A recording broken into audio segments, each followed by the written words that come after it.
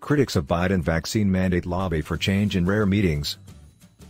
In an indication of the opposition to the Biden administration's sweeping COVID-19 vaccine mandate, ordinary Americans are using a little-known procedure to get meetings with government officials to try to undermine the required shots for workplaces. U.S. President Joe Biden announced in September a nationwide vaccine or testing mandate for every business with at least 100 employees, which will be implemented as a rule from the Occupational Safety and Health Administration, OSHA.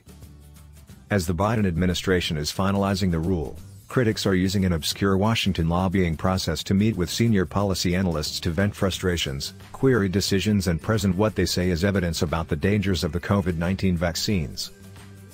The meetings are normally used by well-connected groups trying to win an advantage for companies or unions. But few things are normal about the vaccine mandate, which could be published as soon as next week. 36 of 129 half-hour teleconference meetings on the vaccine rule were scheduled with individuals, according to the Office of Information and Regulatory Affairs, or OIRA, which schedules the meetings. The others were with businesses such as United Parcel Service Incorporated and Walt Disney Company or with trade groups, which have urged delaying the rule or want employees pay for testing, according to information on the OIRA site.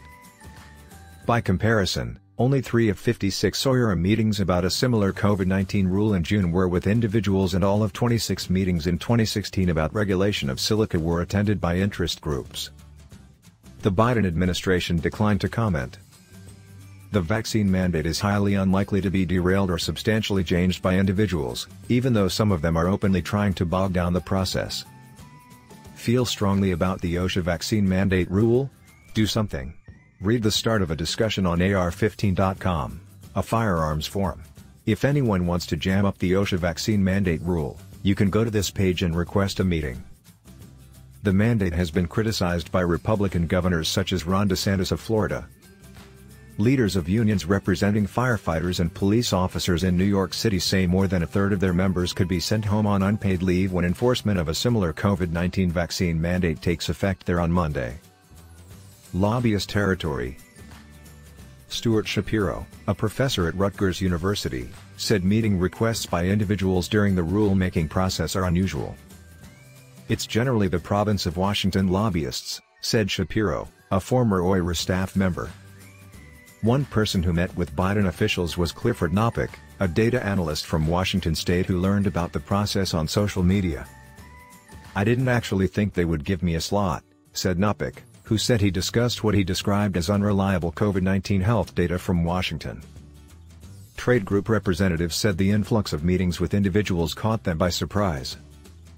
I've never seen anything like it, said Eric Conn, who met with Biden officials on behalf of the employer's COVID-19 Prevention Coalition. He said he thought the meetings with individuals might be reducing the amount of time senior policy analysts were spending with industry and advocacy groups. It appears to have impacted the quality of the opportunity for stakeholder feedback, he said.